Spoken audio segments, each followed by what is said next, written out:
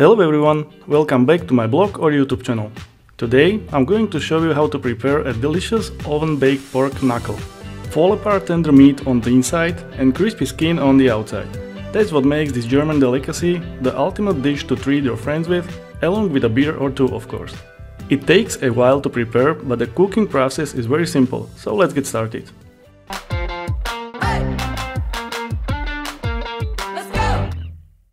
I'm working with a really large pork knuckle today, so to reduce the overall cooking time, I'm going to boil it first.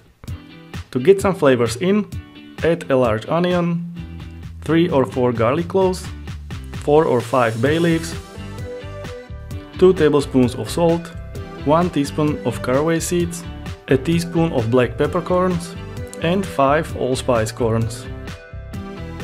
Cover the pot and simmer on low for 60 to 90 minutes, depending on the size of the knuckle.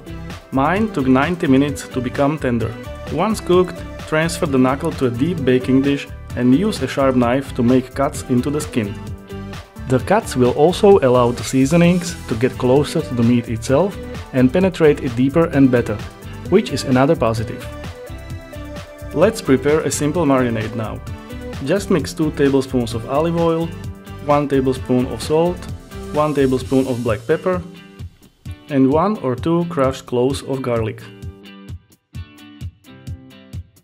Properly brush the pork knuckle on all sides.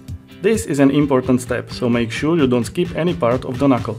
Should you run out of marinade, simply prepare a bit more. It takes just a few seconds. We need a few more ingredients added to the baking dish.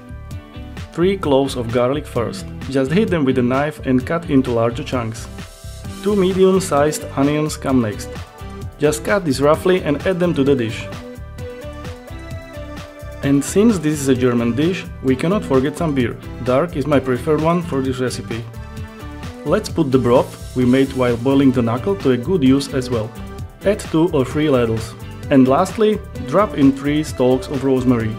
Start baking the knuckle at 150 Celsius or 300 Fahrenheit. It will take approximately 2 hours to bake fully. Keep basting the knuckle every 30 minutes at least to make sure the meat doesn't dry out. It's also a good idea to flip the knuckle after about an hour, so it bakes nicely from the bottom too. For the final 30 minutes, turn the knuckle skin side up again and increase the baking temperature to 250 Celsius or 475 Fahrenheit to make the skin nice and crisp.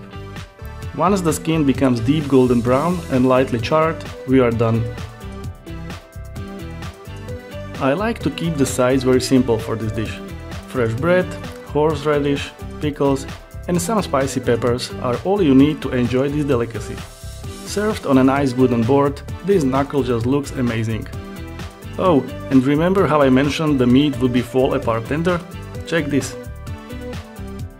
That's all for today, thanks for watching and see you next time.